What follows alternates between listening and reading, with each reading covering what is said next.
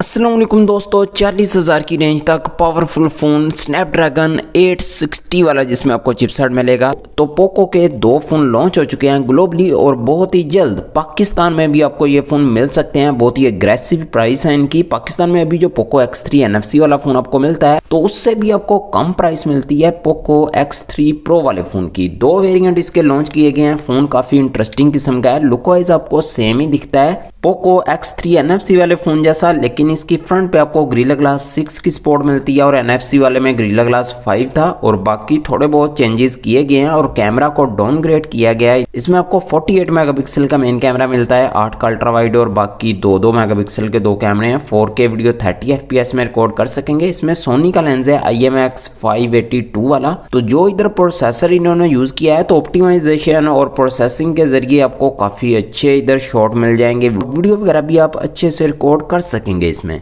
LCD वाला इसमें display है फुल एच प्लस वाला 120 ट्वेंटी रिफ्रेश रेट वगैरह आपको इसमें मिल जाता है। और Snapdragon 860 वाला इसमें चिपसेट मिलता है, जिसके एंटू स्कोर पाँच लाख तक आपको मिलते हैं। तो काफ़ी जो पावरफुल चिपसेट है। UFS 3.1 वाली इसमें स्टोरेज टाइप है। LPDDR 4X वाली आपको रैम मिलेगी। 20 मेगापिक्सल की सेल्फी है स्टीरियो स्पीकर है। फिंगरप्रिंट स्कैनर साइड वाले बटन में 5160 mAh की बैटरी और 33 वाट की फास्ट चार्जिंग है। और इसमें दो वेरिएंट हैं छः जी बी एक सौ अट्ठाईस जी बी वाला है, जिसकी प्राइस अगर यूरोपियन प्राइस कन्वर्ट करें तो छत्तीस हज़ार बनती है। और आठ जी बी एक सौ अट्ठाईस जी बी वाला है, उसकी प्राइस पैंतालीस हज़ार बनती है तो जिसका आपको वेट करना चाहिए अगर आप कोई गेमिंग या परफॉर्मेंस के लिए फ़ोन लेना चाहते हैं, चालीस हज़ार की रेंज तक। और पोको F3 वाला फ़ोन रीब्रांड किया गया है Redmi K40 का, लेकिन काफ़ी अच्छी प्राइस है इसकी। इसमें एमोलेड वाला डिस्प्ले है 120 ट्वेंटी वाला 1300 सौ ब्राइटनेस कर सकते हैं फुल एचडी की रेजोल्यूशन है। एंड्रॉइड 11 दोनों फ़ोन में आपको लेटेस्ट ही मिलता है। इसमें जो आपको चिपसेट मिलता है, वो स्नैपड्रैगन एट वाला है, जिसके एंड टू स्कोर छह लाख उनचास हज़ार तक है।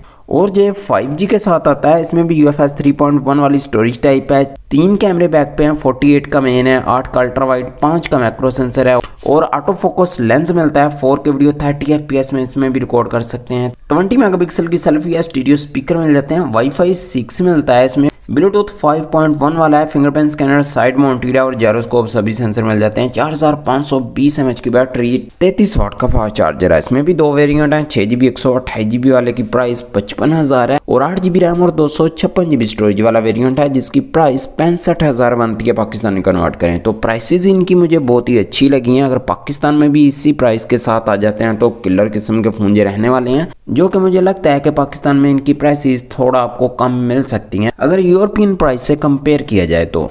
तो बहुत ही ये तबाही किस्म के फ़ोन है। वेट तो इनका बनता है और प्राइस क्या आती है पाकिस्तान में? और ये वाले फ़ोन अप्रैल के मंथ में आपको पाकिस्तान में मिल सकते हैं, जो कि अभी कंफर्म तो नहीं हुआ।